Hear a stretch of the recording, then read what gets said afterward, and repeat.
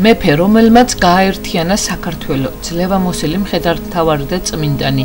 მეფე, რომლის ანდერძით ლეგენდად იქცა.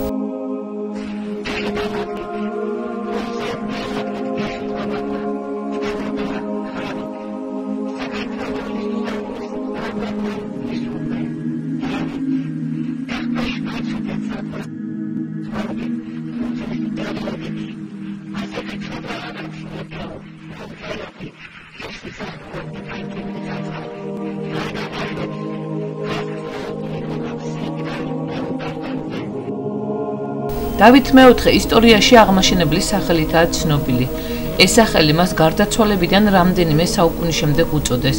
პირველი დოკუმენტი, სადაც აღმაშენებელი გვხვდება 1452 წლით თარიღდება, როდესაც აღმაშენებელი გელაც აშენებდა. დავით აღმაშენებელი ყოველგვარი გადაჭარბების გარეშე არის ყველაზე დიდი ქართველი მრავალათასწლოვან ისტორიაში რაც ჩვენ ქვეყანას გააჩნია გამორჩეული პიროვნება, გამორჩეული ადამიანი, ყოველნაირად განსხვავებული შეიძლება ითქვას მანამდე დაბადებულთაგან და მის შემდეგ. ეს არ არის ხმამაღალი ნათქვამი, ასე ვთქვათ, ეს არის ჭეშმარიტება და რეალობა, იმიტომ რომ დავითი მოღვაწეობდა იმ დროს, როდესაც იდგა საკითხი საქართველოს იარსებებდა თუ არ იარსებებდა. ბევრი დიდი პიროვნება ყოლია ჩვენ ქვეყანას, იგივე დავითის წინაპრები, ბაგრატ მესამე, ვთქვათ, გიორგი პირველი, აა მისი დიდპაპა და ასე შემდეგ, მაგრამ იმ დროს არ იდგა საკითხი საქართველოს არსებობისა. გააგრძელებდა თუ არა ეს ქვეყანა არსებობას, ეს ერია ქართველიერი არსებობას და დარჩებოდა თუ არა ქრისტიანობა ჩვენს ქვეყანაში. ამ დილემის წინაშე იდგა საქართველოს, რომელსაც მოევლინა ახალგაზრდა მართველი, ეგრეთ წოდებული სახელმწიფო გადატრიალების შედეგად და ამ კაცმა დაიტია ყველა საუკეთესო თვისება, რაც ქართველ ადამიანებს ჰქონდა. ვახუშტი ბატონიშვილი წერს ხოლო მეფესა დავითს ამისთვის ეწოდა აღმაშენებელი, რამე თუ ოდეს იქნა მეფეთ, იყო ქვეყანა ესესრულად ოხერ, ამან განავსნა და აღაშინა. დავითმა შეძლო მოახერხა ეკლესიის რეფორმირება, რაც შეძლოს დავითის წინაპრებმა, ის შეძლო დავითმა და ეკლესია ჩააყენა სახელმწიფოს სამსახურში და ეკლესია პრაქტიკულად დაუქვემდებარა მან სახელმწიფოს მწიგნობარ თოხუცეს ჭყონდიდელის თანამდებობის შექმნით. ეს თანამედროვე გადასახედიდან შეიძლება ადვილად სათქმელია, მაგრამ იმ ეპოქაში ამის გაკეთება როგორ გითხრათ ეხა შეიძლება ეს საბრძოლოზე ალექსანდრე მაკედონელსაც თქვათ ალექსანდრე ქრისტიანი არისო მაგრამ ალექსანდრე მაკედონელსაც ვერ გაეკეთებინა თქვათ რელიგიის მიმართ აი ასეთი რეფორმისტული მოქმედებები როგორც დავით აღმაშენებელმა გააკეთა ისი ბრძოლა განათლებისათვის. დავითმა კარგად იცოდა რომ განათლებული ხალხი ააშენებს ქვეყანას. მაშინდელი სოფლიოს ცენტრი ბიზანტიის იმპერიაში აგზავნიდა რა თქმა უნდა სახელმწიფოს ხარჯზე ახალგაზრდებს და ისინი თავის ქვეყანას შემდეგ უბრუნდებოდნენ როგორც სწავლული ადამიანები და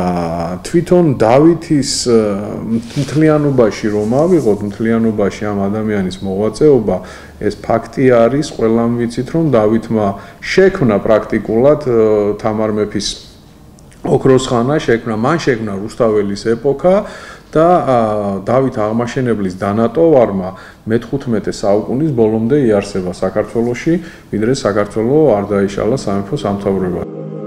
როთებერვალ საქართველოში დიდი მეფის დავით აღმაშენებლის ხსენების დღე აღინიშნება.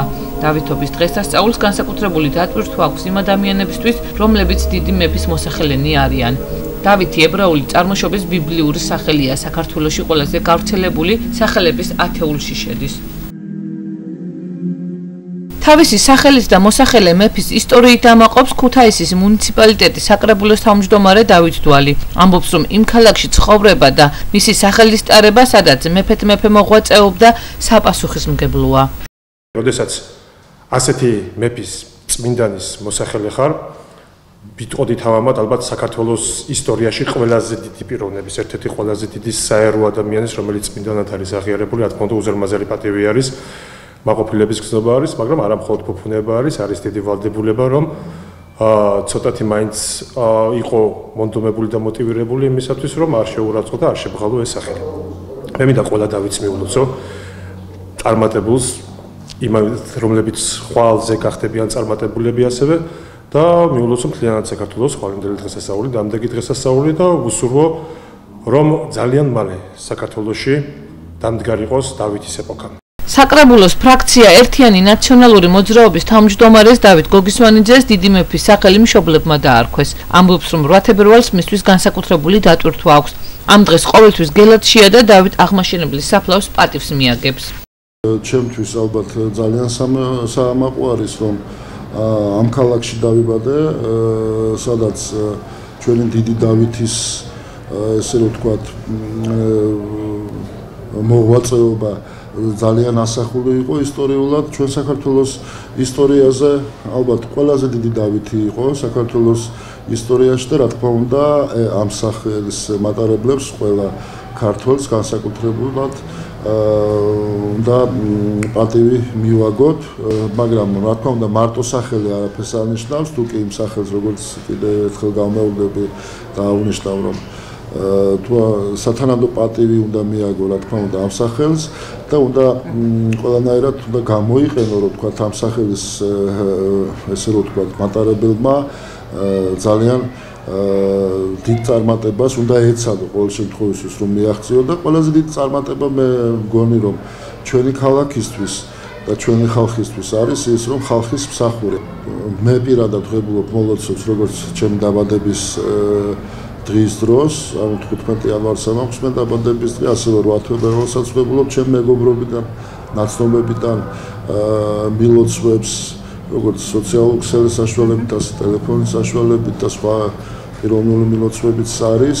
აა ყოველთვის ვათებელს, რა თქმა უნდა, ჩემ მეგობრებთან ერთად, ჩემ ოჯახის წევრებთან ერთად ავდივართ გელათის საზარში. გავდივართ დავითის დიდი დავითის საფლავთან. 8 თებერვალს მილოცვებს მიიღებს ახლობლებისგან ექიმი კარდიოლოგი დავით შარვაშიძე.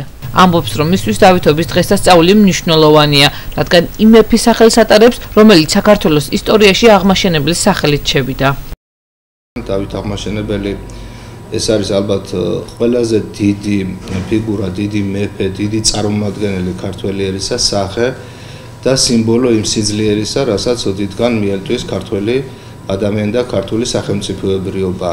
ძალიან დიდი დატვირთვა აქვს, იმიტომ რომ თვითონ ეს ამ სახელის ტარება დიდი პასუხისგებლობაცაა თუ ამ მიმართებაში განვიხილავთ და ალბათ ყოველი ქართველი უნდა ეცადოს ყოველივეს რომ თუნდაც თავისი გადასახედიდან, აი თავისი არეალიდან შეძლოს რომ თავისი ქვეყნისთვის რაიმე აკეთოს ისეთი ღირსეული. ეს მიღებულია დღეს საქართველოში აი დავითებს დავითობის დღეს ლოცავენ და რა თქმა უნდა ესეთი მილოცვები იქნება. ვათებერვალს დავითობის დღესასწაული ყოველწლიურად სხვადასხვა სახის ღონისძიებებით განსაკუთრებით ქუთაისში აღინიშნება.